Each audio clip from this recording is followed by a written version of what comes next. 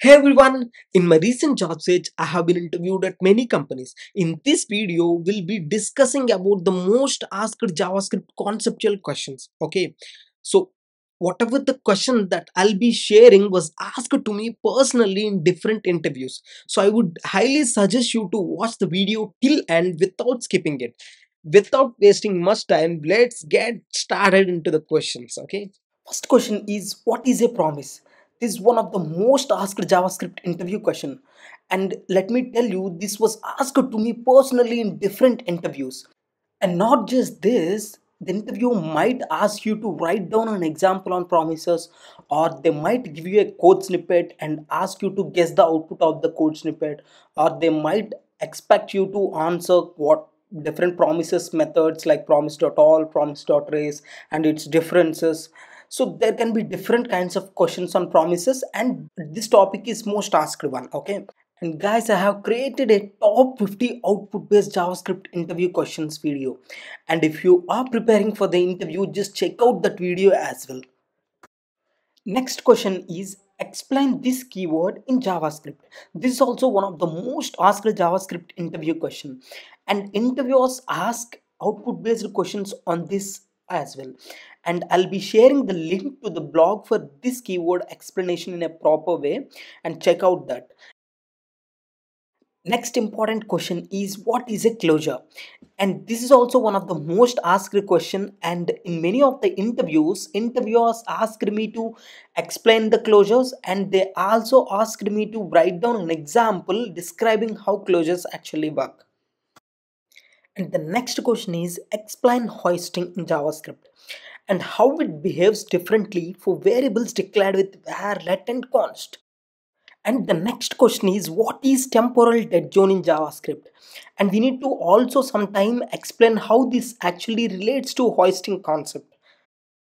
And the next important question is explain call, apply and bind methods in JavaScript. So in some of the interviews, interviewers ask you to explain this with proper examples. And they might also want you to mention how this keyword behaves when using these methods. And the next important question is tell me the differences between for each and map array method. And guys, in every interview, interviewer expects you to know at least these basic array methods like for each map, filter and reduce method. So just make sure that you know these methods before giving an interview. And the next question is what is throttling in JavaScript? And the interviewer might ask you to show the throttling concept with a proper example. And then the other important question is explain debounce concept in JavaScript. So for this as well, the interviewer might ask you to explain this with a proper example. And the next question is explain the differences between let, var and const. This is one of the basic question and the interviewer asked this question mostly for the freshers or the one year experienced guys.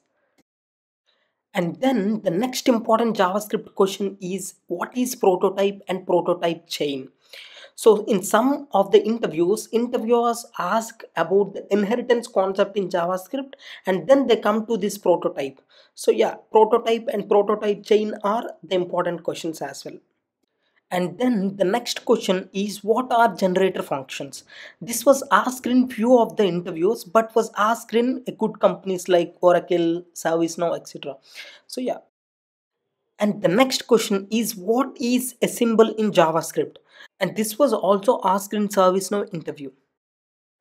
And then the next important question is explain the differences between object and a map data structure and the interviewer might ask you to explain about weak set, weak map as well. And the next question is what is a proxy object? This is also one of the good questions to check your knowledge on JavaScript. And the next important question is explain event loop in JavaScript. And the next follow-up questions on JS engine can be micro task queue, macro task queue, heap and execution context, etc. And the next good question is what is event bubbling? And what is event capturing? And the next important question is explain the differences between arrow functions and normal functions.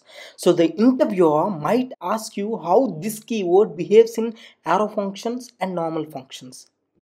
And the next question is what is currying?